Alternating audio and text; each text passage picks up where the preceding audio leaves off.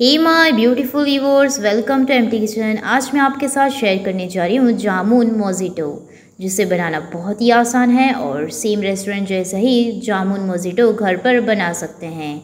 चलिए इसे किस तरीके से बनाते हैं, ये देखते हैं। और देखिए, यहाँ पर मैं थोड़े से जामुन ली हूँ, जिसे मैंने अच्छे से यहाँ पे साफ़ करके धो लिया है। और देखिए यहाँ पे मैंने दो उतनी ग्लास ले ली हूँ और थोड़ी सी हमने यहाँ पे जामुन भी अच्छे से कूट कर इसमें डाल देते हैं। हमें यहाँ पे बीन्स को अच्छे से निकाल लेना है और कूट कर इसी तरीके से इसमें डाल देना है लगभग चार से पाँच उतने जामुन। और थोड़ा सा जलजीरा पाउडर जिससे बहुत ही बढ़िया से टेस्ट आ जाता है। आप भी हो तो ज़रूर ऐड करें। थोड़ा सा नमक, पिंच उतना।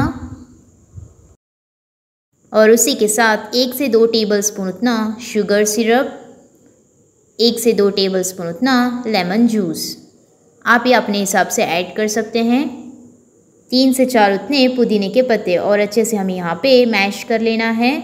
देखिए, जिस तरीके से मैं आपको दिखा रही हूँ, आप भी उसी तरीके से कर लें। बहुत ही मज़ेदार सा जामुन मोजिटो घर पर बना सकते हैं।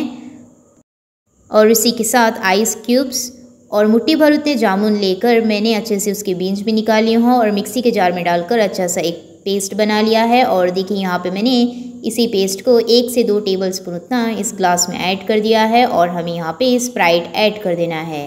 और देखिए, जल्द से जल्द हम घर पर जामुन मोजिटो बना सकते हैं। आप भी एक बार ज़रूर ट्राई करें। अगर आपको मेरी बनाई हुई जामुन मोजिटो की रेसिपी अच्छी लगी हो तो एमटी किचन चैनल को ज़रूर सब्सक्राइब करें और इस वीडियो को लाइक शेयर कमेंट कर देना और बेल आइकन को ज़रूर क्लिक करना क्योंकि ऐसी बढ़िया बढ़िया वीडियोज़ जल्द से जल्द आपके पास पहुँच सकें।